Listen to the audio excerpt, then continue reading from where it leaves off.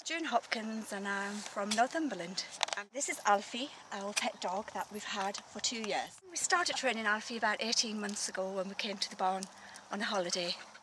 I think the barn is absolutely a fantastic holiday place. It's got everything, five star accommodation, as well as you can bring your dogs. They can live as part of the family in the barn and work too. So you couldn't ask for more. Thomas's training, um, yes, it's spot on, even though if I don't get it first time, he's got patience and we'll explain it over and over again until eventually it clicks with both the dog and myself. The biggest thing I've learned since I started training with Thomas is how clever border collies are.